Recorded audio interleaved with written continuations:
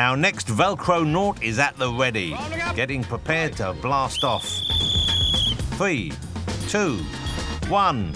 Oh, Houston, we have a problem. He has ejected prematurely. Here's Corn. He looks sweet. Come on, Corn. Hollywood is watching. You can be the Spider-Man. You've practically got the costume. Let's see if you've got the swinging skills to go with it.